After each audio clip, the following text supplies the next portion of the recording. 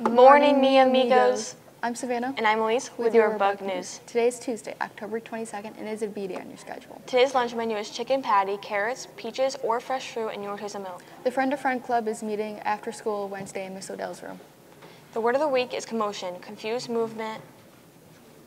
Uh, hey, Elise. Yeah? What is Ghost's favorite dessert? I'm not sure. Blueberry pie. Now to Rachel and Rashawn with your Buc Sports.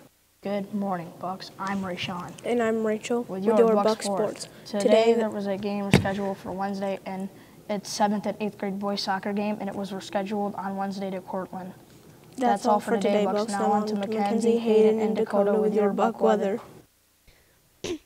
Good morning, Bucks. It's Mackenzie It's Dakota.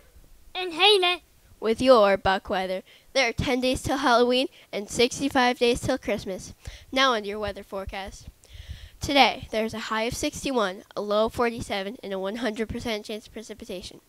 On Wednesday, there's a high of 55, a low of 50, 44, and a 20% chance of precipitation.